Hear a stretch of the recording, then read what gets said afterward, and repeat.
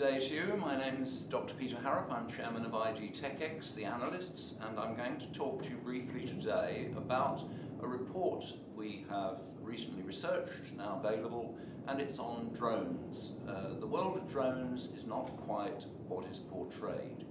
For example, we have little ones, toy ones, sometimes bigger than this, uh, that are really um, becoming such a low price and going out of favour because no, you will not be giving this to your daughter as a birthday present every year forever. We really should consign it to the trash bin. These little drones are so low cost now you can buy one for a few dollars from China and we ought to progress to the rather larger drones but even there uh, the business of the hardware is becoming pretty low priced. Let's have a look at one. This is a Chinese drone that dropped in price 70% in the last year. It has a camera, it's not operating at the moment, uh, and these drones are actually very similar to ones that are used for agriculture, search and rescue, many serious things. They actually are very professional products in many ways. And so that business uh, is a business, very much so. It's an enduring business. And the business is mainly, though, in software and services.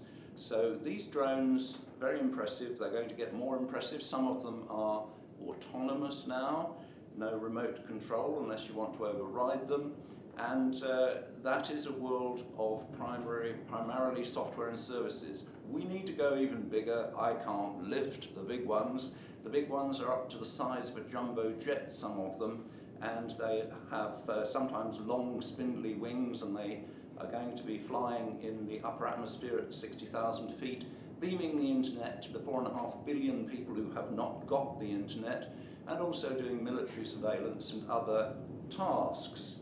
So when we progress from these, which have a big business, primarily services and software, we go to the very big ones, which some of which are costing over half a billion dollars each. The hardware there is very important because they have to have wings that are solar cells and a lot of um, uh, software and services backing them up.